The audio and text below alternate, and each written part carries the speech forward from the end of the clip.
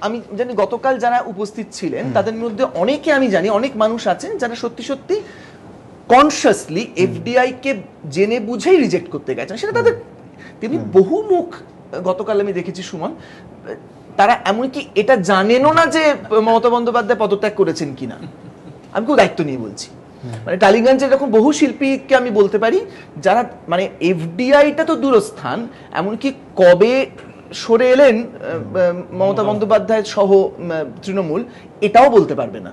সুতরাং মানে কোথাও কি হয়েছে জানো তো? মানে একটা অদ্ভুত এবং আরও একটা ইন্টারেস্টিং জিনিস সেটা সমীরদা আরও ভালো বলতে পারবেন যে গতকাল যাদেরকে দেখেছেন আপনি বলতে পারেন সমীরদা যে যখন আমরা সিপিএমের বিরুদ্ধে লড়ছি যখন সিপিএমের কাছ থেকে প্রায় প্রত্যেক দিন হুমকি কল আসছে কিন্তু হুম মানে ঠিক এই ভাষায় ছেলেকে তুলে নেব একদম। হ্যাঁ বউকে তুলে নেব এই ভাষায় কিন্তু ফোন আসছে আমাদের কাছে। সেই সময় ওই মিছিলে আমাদের ওই চোদ্দই নভেম্বরের মিছিলে এদের একজনকেও হাঁটতে দেখেছেন আমাদের পাশে? তখন জমানো অন্য ছিল। বরঞ্চ একটা অন্য রকমের বিশ্বাস ছিল যে না এদেরকে সরানো যাবে না। সুতরাং আজকে যে এই যে কজন বুদ্ধিজীবী করছে টচ্ছে বোকামি করছে। কিন্তু আজকে দেখুন মঞ্চ পরিপূর্ণ।